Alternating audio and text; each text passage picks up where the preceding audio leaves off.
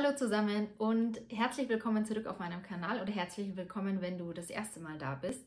Ich bin jetzt seit über einem Jahr selbstständig und dachte mir, dieses Video ist jetzt die perfekte Gelegenheit, um das vergangene Jahr meiner Selbstständigkeit mal Revue passieren zu lassen und mir anzuschauen, was gut gelaufen ist, was nicht so gut gelaufen ist und was gar nicht so schön war. Also ich habe dieses Video unterteilt in The Good, The Bad und The Ugly. Und ja, im besten Fall helfen so meine Learnings oder meine Erfahrungen dir bei deiner eigenen Selbstständigkeit. Und ja, ich hoffe einfach, dass ich dir so eine gewisse Angst vor diesem ganzen Thema nehmen kann, wenn du einfach noch überlegst, ob du dich selbstständig machen willst. Und ja, ich hoffe einfach, dass ich dich damit motivieren kann. Falls ihr noch nie hier wart, ich bin selbstständige SEO-Texterin und unterstütze Unternehmen bei ihrem Online-Auftritt, also mit Website-Text, mit Blogartikeln, mit Texten für Social Media, Newsletter, also so ziemlich alles, was Content Marketing zu bieten hat. Da unterstütze ich meine Kunden relativ erfolgreich damit. Ich bin jetzt eben seit dem 15. März 2021 selbstständig und ich würde sagen, wir fangen jetzt erstmal mit den guten Sachen meiner Selbstständigkeit an. Der erste Punkt ist, dass ich von Tag 1 Kunden hatte. Ich habe am Tag meiner Gründung habe ich auf LinkedIn einen Post veröffentlicht, den kann ich euch gerne unten nochmal verlinken, wenn euch das interessiert.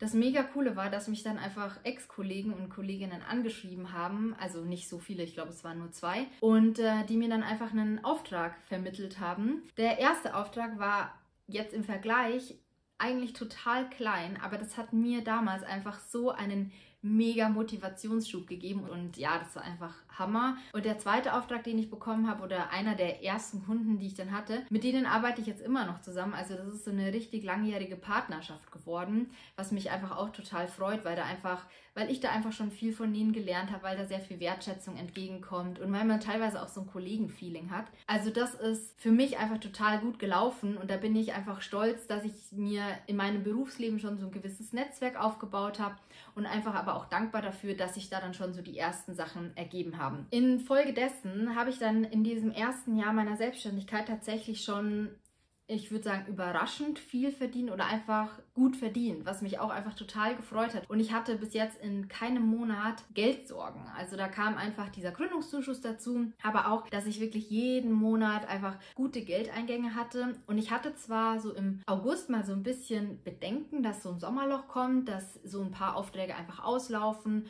und ich dann erstmal nichts mehr zu tun habe. Aber diese Bedenken waren auch total unbegründet, weil dann Anfang September gleich wieder ein riesiger Auftrag kam und da dann auch einfach wieder Geld geflossen ist natürlich. Und ja, ich bin froh, dass ich mir da am Anfang meiner Selbstständigkeit gar nicht so viele Sorgen gemacht habe, weil letztlich, ja, ist auch eh alles gut gegangen und ich hatte eigentlich in diesem ersten Jahr hatte ich nie wirklich Geldsorgen. Eine weitere Sache, die mega gut gelaufen ist und ich würde sagen, das war vielleicht einfach so ein glücklicher Umstand oder eine, ein Zufall oder einfach eine glückliche Fügung war, dass ich gleich am Anfang meiner Selbstständigkeit in ein Coaching investiert habe und für mich war dieses Coaching so wichtig, weil ich am Anfang noch gar nicht so richtig einen Plan hatte, was ich jetzt eigentlich machen will. Ich habe dann aber in diesem Coaching einfach gelernt, okay, worauf solltest du jetzt deinen Fokus setzen? Also was kannst du gut, womit kannst du Geld verdienen und was macht dir auch Spaß?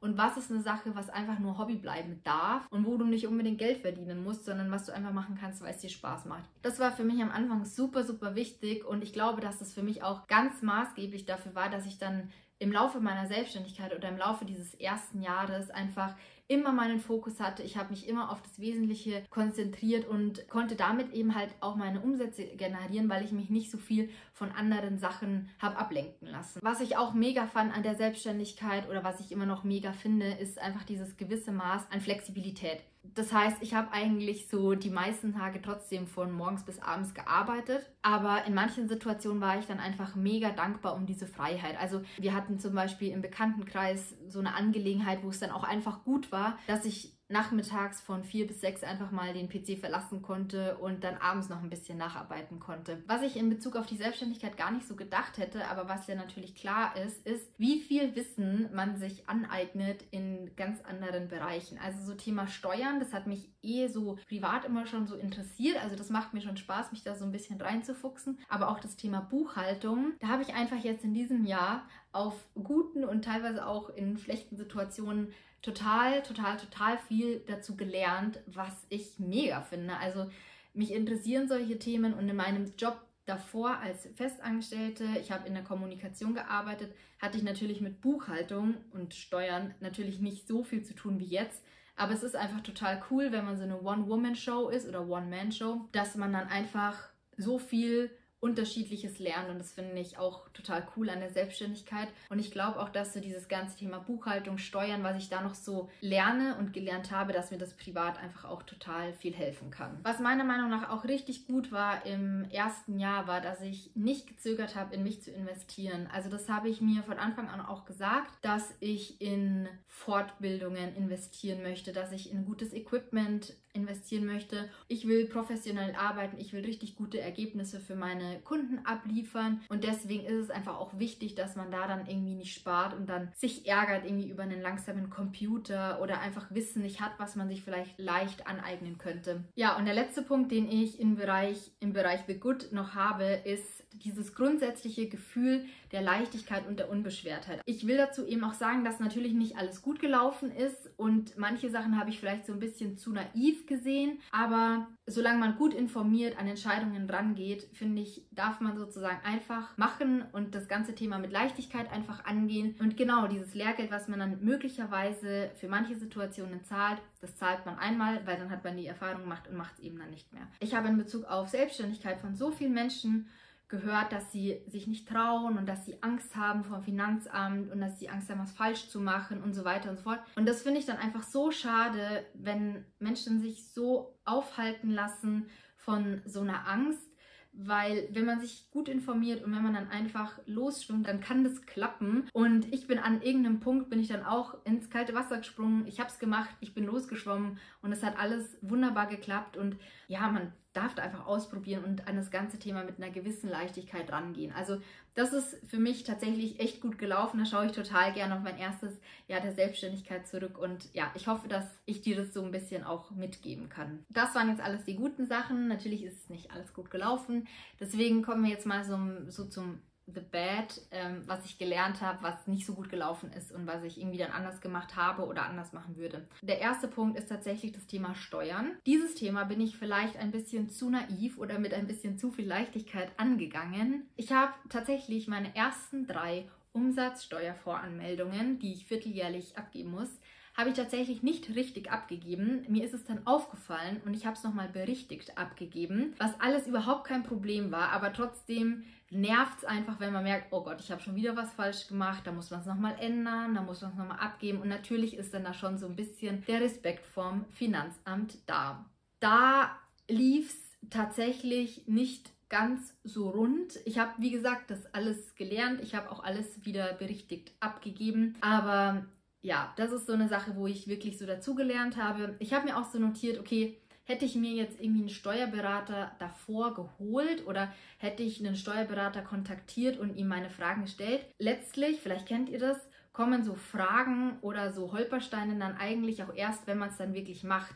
So am Anfang fängt man an und denkt so, nö, ich habe gar keine Fragen, alles klar. Und wenn man dann aber so mal den ersten Spezialfall hat und dann das und das und das, dann merkt man, ach so, ja, ups, da sind ja doch so ein paar Fragen, die ich habe. Und da könnte ich mir vorstellen, dass so der eine oder der andere, wenn man jetzt schon am Anfang so ein paar Fragen hat, dass man einfach nochmal einen Steuerberater fragt oder direkt beim Finanzamt. Wie gesagt, ich habe für die wichtigen Fragen, die ich damals hatte, habe ich das Finanzamt kontaktiert. Ein paar Sachen sind dann trotzdem aufgekommen. Ich habe dann sozusagen nochmal diese Korrekturschleife dann über Elster gedreht, was alles gepasst hat. Aber da hatte ich einfach schon so ein paar Aha-Momente. In dem Zusammenhang habe ich noch einen ganz konkreten Tipp für euch. Ich habe am Anfang mit dem Finanzamt und auch mit der Agentur für Arbeit, als ich noch arbeitslos war, immer relativ viel, viel telefoniert, was mir auch mega geholfen hat, weil ich dann einfach gleich einen Ansprechpartner hatte und er hat mir das alles dann wirklich erklärt und ich konnte nachfragen und so weiter und so fort. Aber wenn man dann wirklich mal einen Bescheid braucht oder eine Auskunft oder irgendwas, wovon man glaubt, dass man es dann am Ende nochmal brauchen könnte, dann habe ich jetzt einfach gelernt, dass man sich dann tatsächlich schriftlich geben lässt, um dann auch wirklich alles schwarz auf weiß zu haben. Das war für mich einfach so ein Learning, dass man eben in Institutionen und Behörden und so, dass es dann schon Sinn macht, das alles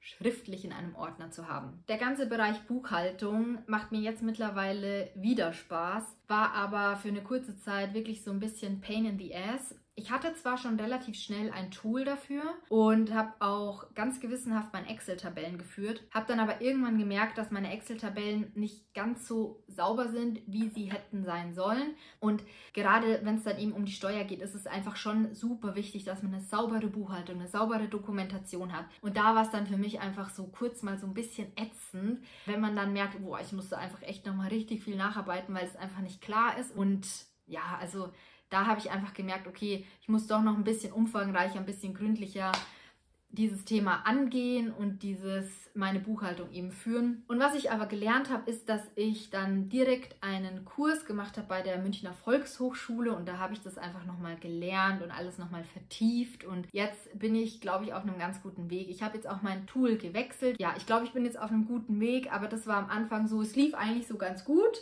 und dann habe ich gemerkt, oh, es lief irgendwie doch, es läuft gerade irgendwie doch nicht so gut, da musste ich echt einiges ändern und jetzt läuft es wieder gut. Aber wie gesagt, das war auf jeden Fall auch so ein Aha-Moment beziehungsweise ein ziemlicher Lernprozess. Zwei Punkte habe ich jetzt noch in diesem Bereich und zwar ein Punkt bezieht sich auf die Kunden. Ich hatte, muss ich wirklich sagen, eigentlich nur coole Kunden, also es hat eigentlich alles total gut gepasst, aber trotzdem hatte ich manchmal so ein paar unangenehme Situationen oder ja, irgendwie Verhandlungen waren nicht so gut, Missverständnisse, also an so einer Kooperationen sind ja ganz viele Faktoren beteiligt. Also erstmal die Vergütung, die Kommunikation, dann ähm, wie wird kommuniziert, wie, wie läuft das alles, wo liegt die Verantwortung und so weiter und so fort. Also so, so viel.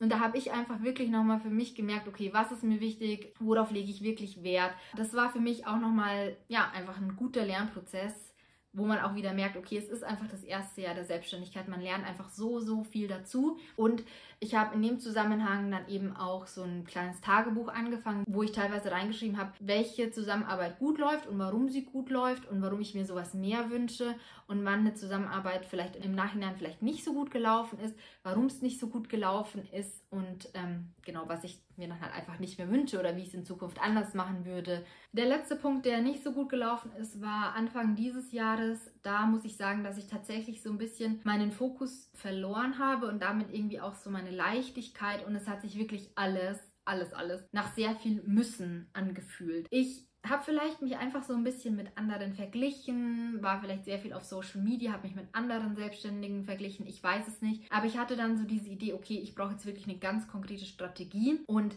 wollte dann da so krass was erarbeiten und so weiter und so fort. Und das hat sich aber alles einfach sehr, sehr gezwungen angefühlt. Und da habe ich dann irgendwann gemerkt, okay, Julia, du musst das ganze Thema nach wie vor einfach mit Leichtigkeit und Fokus angehen. Und so wie es gerade läuft, passt ja alles. Also das, was mir wichtig ist, das ist sozusagen alles abgedeckt und alles andere darf sich ja noch entwickeln. Also so eine Selbstständigkeit geht ja über mehrere Jahre hinweg und man kann nicht gleich immer alles aufsetzen und umsetzen, sondern das entwickelt sich alles. Bei manchen Sachen muss man Geduld haben, bei manchen Sachen muss man reinwachsen. Und da habe ich mir einfach so ein bisschen den Druck selbst rausgenommen und bin jetzt wieder einfach mit mehr Leichtigkeit am Start und es macht mir auch einfach wieder viel, viel mehr Spaß und alles andere darf sich entwickeln und da bin ich auf jeden Fall gespannt, was dieses Jahr dann noch so bringt. Okay, und dann letzter Punkt, The Ugly. Das war tatsächlich eine Sache, die mich sehr beschäftigt hat. Und zwar bin ich so in meiner Selbstständigkeit tatsächlich so ein bisschen einsam geworden. Also ich habe zum Beispiel auch Freundinnen, die selbstständig sind und bin mit denen auch im Austausch. Aber trotzdem bin ich so Ende letzten Jahres, Anfang dieses Jahr, diesen Jahres tatsächlich so ein bisschen im Homeoffice versackt und mir hat wirklich dieser zwischenmenschliche Kontakt gefehlt. Was ich ziemlich witzig finde, weil ich am Anfang meiner Selbstständigkeit noch total happy war, dass ich jetzt nicht mehr so viele Meetings habe und dass ich jetzt so richtig effizient arbeiten kann. Aber ich habe jetzt einfach realisiert, dass man unmöglich acht Stunden am Tag nur rödeln, rödeln, rödeln, rödeln kann, sondern dass für mich einfach dieser, ja, dieser Austausch mit anderen total wichtig ist und das hätte ich tatsächlich nicht gedacht, dass es mir so wichtig ist oder dass mir Kollegen und Kolleginnen irgendwann mal so fehlen könnten. Und ich habe mich dann im März in einen Coworking Space eingebucht, eingemietet und bin da jetzt einfach total happy. Ich radel da morgens hin, ich habe frische Luft, ich habe Bewegung, ich habe da dann einen Tapetenwechsel und ich habe das Gefühl, dass ich da einfach viel, viel produktiver arbeiten kann. Während ich hier irgendwie im Homeoffice zwar eine sehr lange Zeit auch produktiv sein konnte, aber irgendwie hat es dann echt so ein bisschen nachgelassen. Ich habe angefangen so zu prokrastinieren und bin unzufrieden geworden. Und ich glaube, dass mir das jetzt persönlich wirklich, wirklich gut getan hat. Aber ja, da bin ich dann fast kurz mal in meiner Selbstständigkeit schon so ein bisschen vereinsamt. Aber ist jetzt wieder alles gut und ähm, ja, ich bin happy. Okay, vielleicht ist es jetzt auch ein bisschen unglücklich, dass ich jetzt mit diesem Schlechten aufhöre, aber deswegen möchte ich euch nochmal an ganz den Anfang erinnern, an diese Leichtigkeit und diese ja, dieses Gefühl von einfach machen, einfach mal ins kalte Wasser reinhüpfen. Es wird mindestens lauwarm sein, vielleicht auch ein bisschen kälter, aber ihr werdet losschwimmen, es wird alles gut, meiner Meinung nach. Und ähm, bedenkt auch immer, dass es so viele Ressourcen gibt, es gibt so viele Tools, es gibt so viele Menschen, die euch helfen können, die euch unterstützen können. Also greift auf diese Ressourcen zurück, habt da gar keine Angst davor oder Scheu davor. Und ich glaube, das war's. Ich glaube, das Video ist jetzt mega lang. Wenn ihr jetzt gerade am Gründen seid oder euch selbstständig macht, dann wünsche ich euch ganz viel Erfolg dabei. You can do it. Und ja, danke, dass ihr dabei wart. Ach ja, letzter Hinweis noch. Wenn euch dieses Video gefallen hat, dann bitte gebt ihm einen Like oder kommentiert oder abonniert vielleicht sogar diesen Kanal. Das würde mir auf jeden Fall total helfen, ähm, meine Arbeit hier auf YouTube. Und genau, dann würde ich sagen, wir sehen uns im nächsten Video wieder. Wie gesagt, viel Erfolg beim Gründen und bis bald. Ciao, ciao!